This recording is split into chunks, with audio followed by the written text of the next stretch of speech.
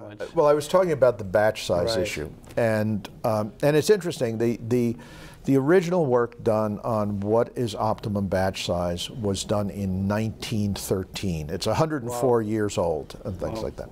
And at the time, the guy who was writing about it, a manufacturing guy, he said most engineers do not understand the economics of batch size. And now it's 104 years later and things like that, or 103 years later, and most engineers still do not understand the economics of batch size.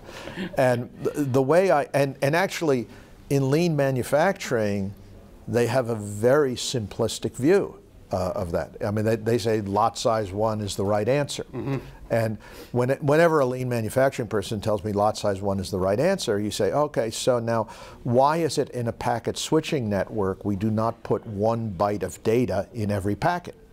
And then, people, well, it's the overhead. He says, yes, yeah, there is a trade-off with overhead. Okay. So in, in batch size, you're always making a trade-off between transaction cost and holding cost. The, the example I was giving in the course, it's an easy one to remember, is let's say I ate eggs for breakfast in my family. And I decided that uh, we go to the supermarket too often.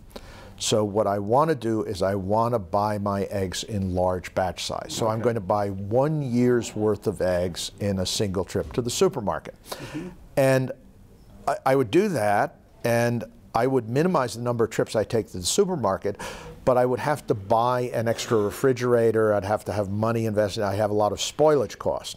And so my holding costs would become very high, and my transaction cost would be very low. Yeah. Now, eventually, I would figure out this is a stupid way to do things, and I would say, I should Google this and find out uh, what a smart way to do it. And I'd run across the lean manufacturing ideas, and I would read about one piece flow is the answer to all of your problems. Let's buy one egg only. S- Yeah, exactly. As I, I would say, I should really use this new thinking from lean manufacturing. From now on in our kitchen, we eat an egg, we buy an egg, we eat an egg, we buy an egg.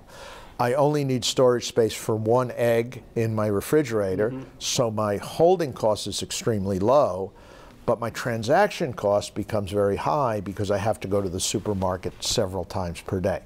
And that, catch it, it is always an economic trade-off the numbers for your holding cost, the numbers for your transaction cost end up affecting what the optimum batch size is.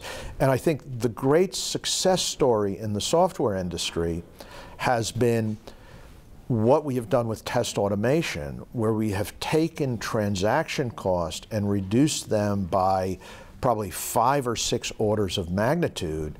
And as a result, we have enabled extremely small batch sizes in coding and testing. And you look at how we would do testing, you know, 40 years ago in software and things like that. It was uh, tied to the waterfall model, big batch test, very delayed feedback loops.